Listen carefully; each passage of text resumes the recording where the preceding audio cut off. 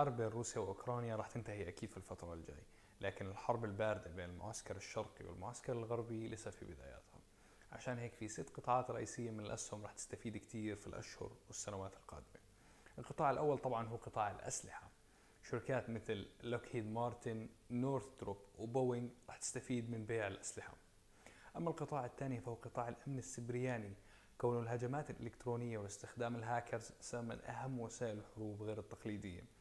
عشان هيك شركات مثل Palo Alto CrowdStrike BlackBerry و Fortinet رح تستفيد من توفير الحماية للمستخدمين ضد الهجمات.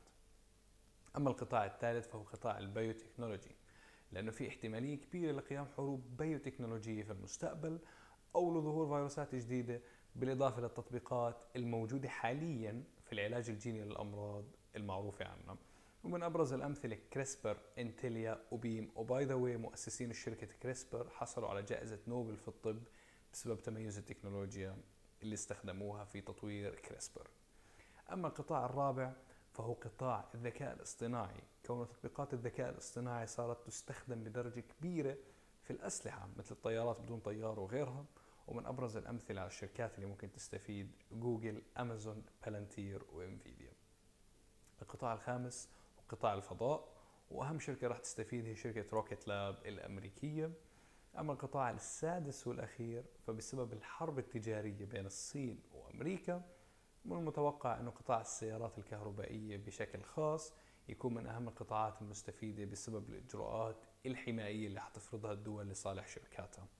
شركات مثل تسلا فورد جنرال موتورز Lucid و GGPI راح تستفيد وبنفس الوقت شركات مثل XPeng و BYD و NIO و Li Auto ممكن تستفيد.